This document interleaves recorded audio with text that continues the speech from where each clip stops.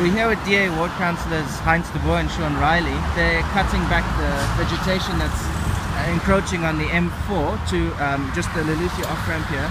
Heinz, can you just tell me a little bit about what you guys are doing? Yeah, basically we're just going to be cutting back some of the alien invasives that are here. We're not cutting indigenous trees. We're not cutting down any indigenous trees. Um, there's been a severe problem over the past few years. We've raised it with the provincial uh, authorities who are responsible for cutting back and they're just taking their own sweet time. So being the DA councillors that we are, we've got our chainsaw, we've got our panga and we're going to do the work that needs to be done.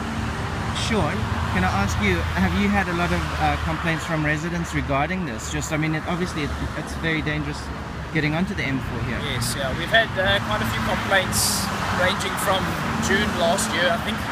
Um, and we put repeated requests in. We started with the municipality, but they explained to us that they're only responsible from the, the centre of town up to Ann Arbor, Ann Arbor, and uh, from there onwards it's the provincial roads department. So we put a request into them to come and have it uh, have it sorted out. We've put follows up, follow up after follow up. It's been over six months now since our initial um, correspondence with them, and nothing has been done. Uh, so we we're just doing it because uh, we were sick and tired of waiting for, for the administration to get